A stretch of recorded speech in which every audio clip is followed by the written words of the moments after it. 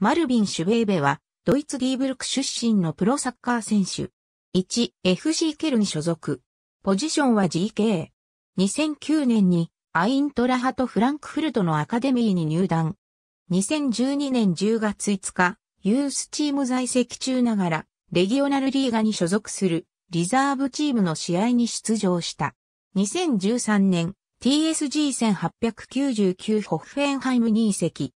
移籍当初はリザーブチームや U-19 チームでプレーし、2014-15シーズンよりトップチームに昇格した。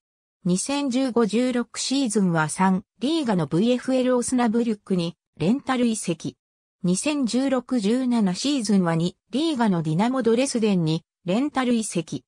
19メイ2017年5月19日、レンタル期間が1シーズン延長された。2018年6月、デンマークのブレンビーイフに3年契約で移籍。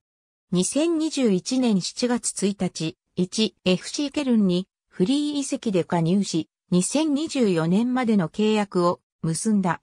各年代で年代別ドイツ代表に選出されている。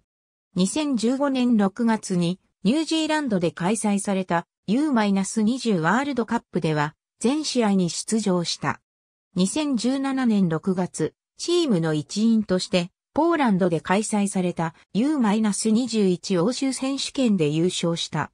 ありがとうございます。